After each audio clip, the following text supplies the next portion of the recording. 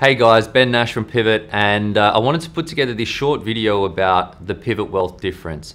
Now, clearly I'm a little bit biased, but I think our brand of financial advice, the style of advice we do, is pretty great. Uh, a few other people agree, and uh, that's why last year we were lucky enough, and I was completely humbled for us to win the award for the best client servicing financial advice business in Australia, as awarded by the Independent Financial Advisor magazine.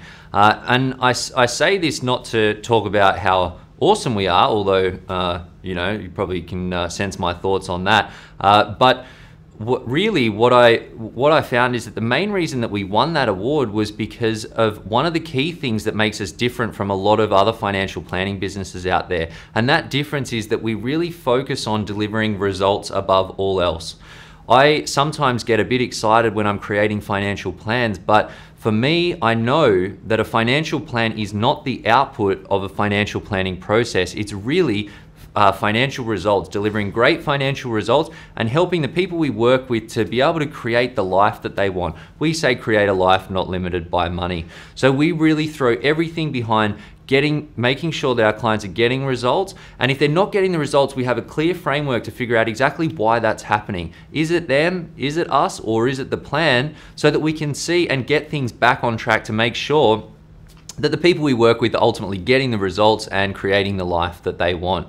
The other difference that i've found is that we we don't make anyone feel stupid. And i found that we tend to work with you know executives and professionals and highly capable people that are great at their jobs and have a lot of really uh, important technical knowledge in their field of expertise. But money is is its own field of expertise. And i find that a lot of people they feel really stupid. They feel like everybody else has it so much more together than they do when it comes to their money. They feel a bit silly to ask questions that they feel are silly but in reality, I think a lot of people are very, very confused. So we focus really on making sure that we're giving people advice on their level, at the level that you're at, so that we can, you know, build on the existing knowledge that you've got, extend that knowledge further to make sure that when you you set out strategies or you create a, a plan to or a pathway to take you from where you are to where you want to be, that you're completely confident that you understand the moving parts, how they fit together, why they work, and uh, and how the risks risks are managed for you.